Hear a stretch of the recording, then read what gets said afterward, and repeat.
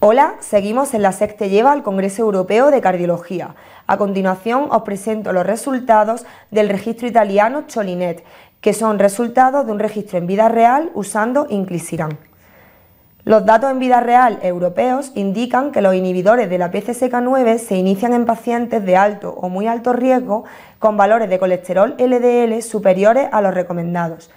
Las diferentes normas de financiación pueden influir en el acceso al tratamiento inyectable en los distintos países y no se disponen de datos en vida real sobre el uso de inclisiran en Italia, que es donde se ha realizado este registro. El objetivo es evaluar la eficacia de inclisiran y de los tratamientos hipolipemiantes de base en la práctica clínica italiana en pacientes que reciben inclisiran.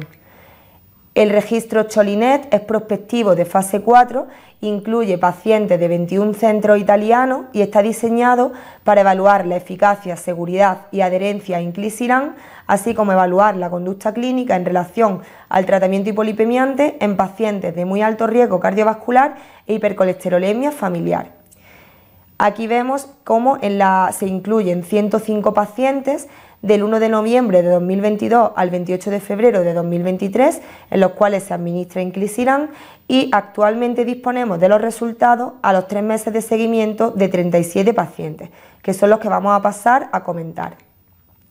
Las características basales de los pacientes del registro, vemos cómo tenemos eh, un porcentaje de, de varones del 70% con una edad media de 64 y vemos cómo en el 14% de los pacientes existe el diagnóstico de hipercolesterolemia familiar. La mediana del colesterol total del LDL es del colesterol total, perdón, es de 167, la mediana del HDL colesterol es de 47 y la mediana del LDL colesterol es de 98 y el 13% de los pacientes estaban, habían estado previamente en tratamiento con un inhibidor de la PCSK9. Aquí os presento los resultados y vemos cómo hay un 49% de reducción de media de colesterol LDL en los pacientes, siendo esta reducción media del 50% en los pacientes con enfermedad cardiovascular y del 38,3% en los pacientes con hipercolesterolemia familiar.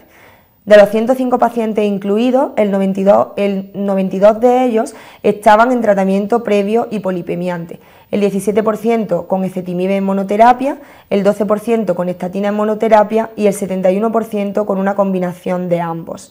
Y aquí vemos también en esta gráfica la estratificación, la, la, reducción porcentual de colesterol LDL estratificada según si los pacientes estaban o no en tratamiento previo con inhibidor de la PCSK9 o con terapia hipolipemiante.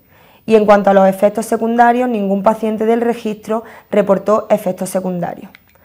Concluimos que estos resultados preliminares del registro italiano Cholinet muestran que inclisiran se introduce con valores basales de colesterol LDL sustancialmente más bajos que los comunicados anteriormente para los inhibidores de la PCSK9, lo que refleja un cambio favorable en la práctica clínica.